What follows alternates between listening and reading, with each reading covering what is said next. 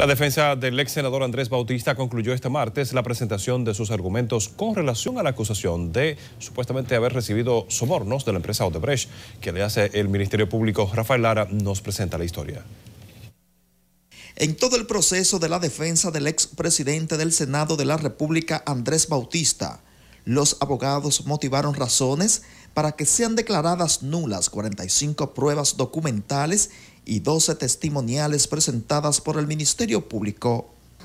El Ministerio Público, contrario a lo que debió ser, ni cumplió en el proceso de investigación, ni ha cumplido en ocasión de la presentación de la acusación con su deber constitucional y legal.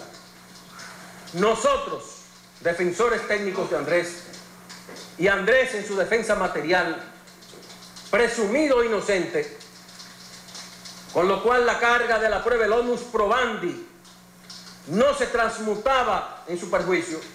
A pesar de ello, ha sido propositivo y ha demostrado efectivamente no solamente el destroce total, el derrubamiento total, el colapso de lo que ellos hemos llamado el edificio acusatorio del Ministerio Público, los abogados concluyeron pidiéndole al juez Francisco Ortega Polanco que dicte un auto de no lugar a favor del ex legislador y empresario agropecuario, quien asegura que es un chivo expiatorio en el caso Odebrecht.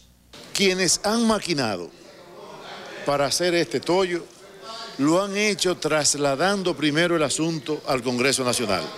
Si ustedes se dan cuenta, hay cuatro legisladores, un abogado un empresario y un funcionario del gobierno anterior. Entonces, ellos lo que han tratado es trasladarlo al Congreso Nacional y han tratado de que se hable de sobornos. ¿Cómo puede hablarse de soborno sin hablar de sobrevaluación?